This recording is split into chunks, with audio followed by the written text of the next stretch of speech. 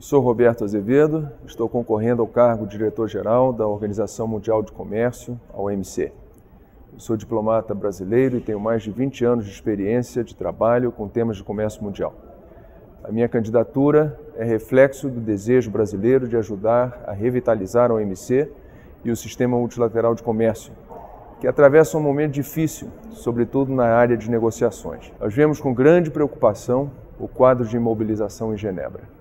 É fundamental continuar avançando no aprimoramento do sistema para fazer frente às incertezas da economia mundial no atual processo de recuperação da crise financeira de 2008. São necessárias soluções ambiciosas que promovam a abertura do comércio, a eliminação de suas principais distorções e seu uso como meio a serviço do desenvolvimento de todos, mas em especial dos países mais pobres. O Brasil acredita que é chegado o momento para a África ou a América Latina e Caribe liderarem a OMC. Nós cremos que a alternância entre regiões e entre representantes de países desenvolvidos e em desenvolvimento fortalece e democratiza a organização.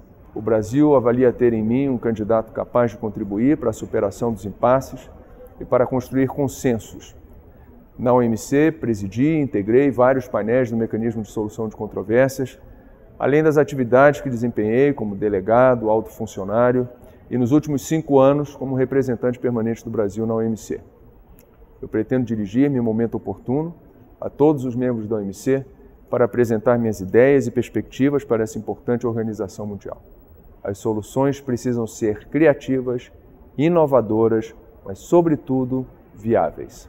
Eu ofereço minha credibilidade como profissional com ampla experiência em negociações multilaterais e me comprometo a construir pontes entre os países membros em Genebra.